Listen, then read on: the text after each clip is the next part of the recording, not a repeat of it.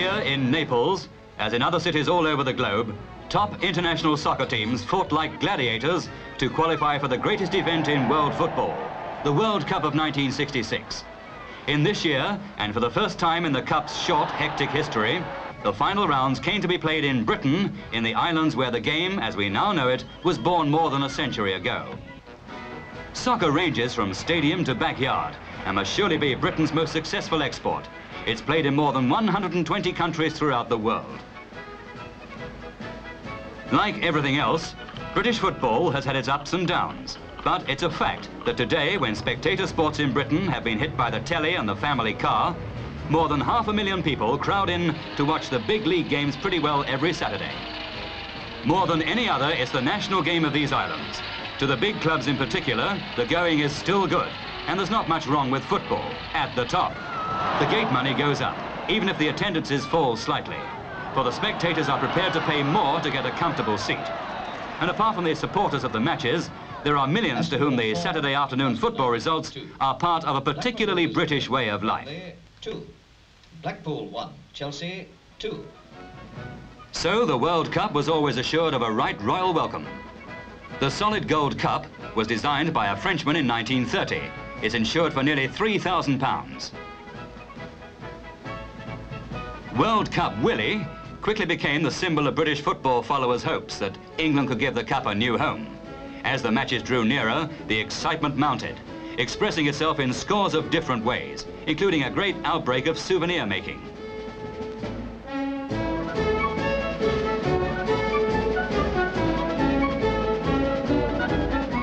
After England had been chosen as the host country for the 1966 series, the World Cup organisation established headquarters at the White City, scene of one of the London matches.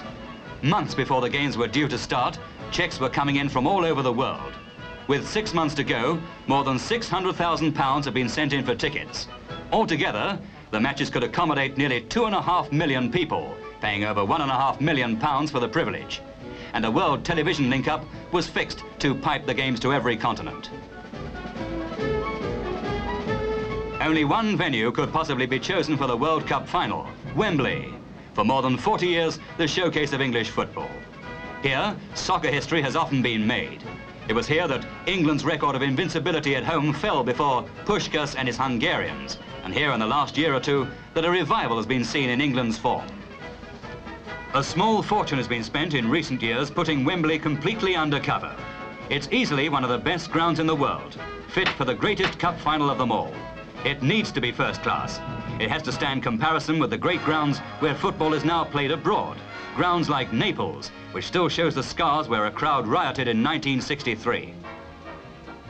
It's a long, long trail in every sense from Naples, for example, to Middlesbrough on Teesside, one of the eight English grounds selected for the 1966 World Cup Series.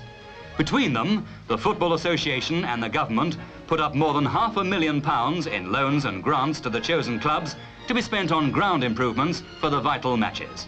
Big building schemes were pushed forward at Middlesbrough and Aston Villa. New stands were built earlier at Manchester United and Sheffield Wednesday, all designed to give the best possible accommodation.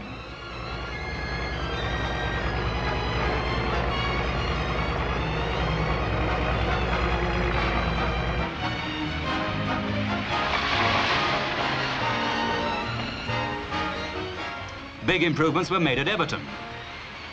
In this way, the World Cup and the 50,000 foreign visitors following in its wake would leave some lasting benefit behind for English football, particularly English football in the provinces. If one day the Scottish Football Association are World Cup hosts, similar improvements might then be put in hand for grounds north of the border.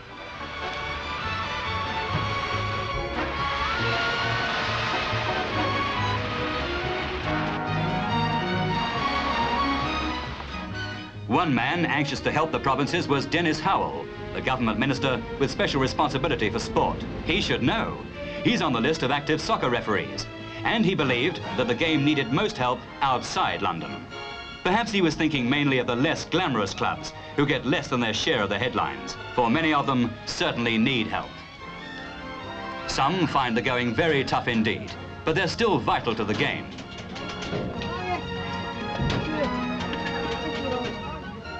The players, underpaid not so many years ago, are now in show business and expect and get substantial salaries for their short playing lives. Their cost makes it tough for the more modest clubs, some of which can only keep going from handouts from keen local supporters. One man who isn't worried about the state of football is Alf Ramsey, manager of the England team. He's both a tactician and an optimist.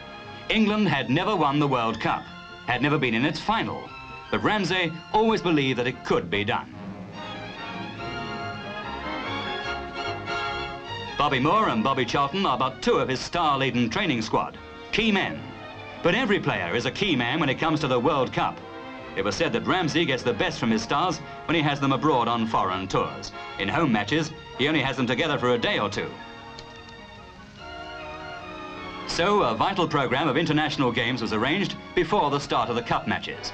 It was designed to give the manager his chance to knit together a team of world class. And world class it has to be. For in little more than a hundred years, football has erupted like Vesuvius. A long way from the placid village greens of England. It's now the national game of countries around the Mediterranean and in Latin America.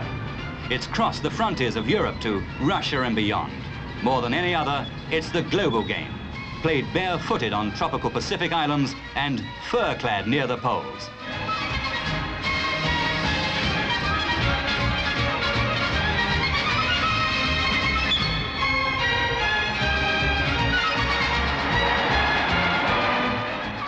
More than 70 countries competed for places to get into the last 16 for the World Cup.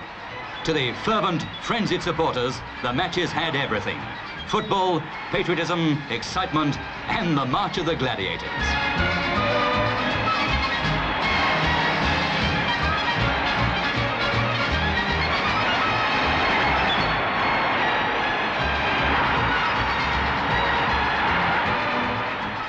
These indeed were the Roman games of the modern world, played maybe from Ecuador to Glasgow.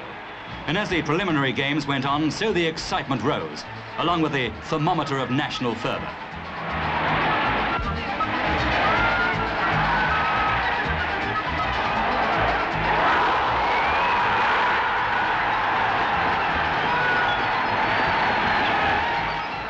As host country, England was given an automatic pass into the final tournament. The other British teams had to try to fight their way through the preliminary rounds, and they failed. Scotland came near, but finally went down to Italy, amid the wild excitement of the Naples Stadium, with the thunder flashes cracking and exploding on the outfield, and the seat cushions fluttering in the air like confetti. How many teams could have qualified against this fantastic background of jubilant frenzy as the Italians cheered their team on into the last 16?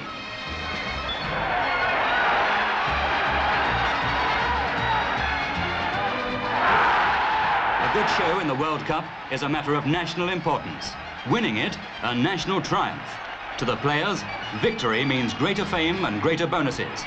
Ever more starry-eyed hero worship from the seething crowds. A few years ago, the England team wasn't rated with an outside chance. But Alf Ramsey never agreed. And it was a tribute to him that, as the World Cup series drew near, so his team became favourites with the holders Brazil.